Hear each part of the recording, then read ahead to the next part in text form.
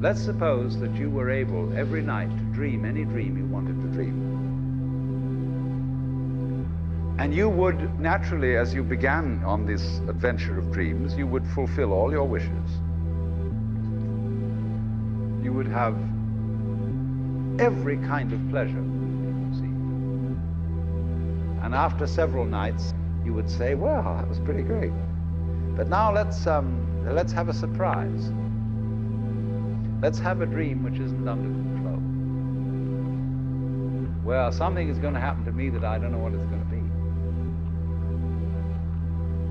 Then you would get more and more adventurous, and you would make further and further out gambles as to what you would dream. And finally, you would dream where you are now.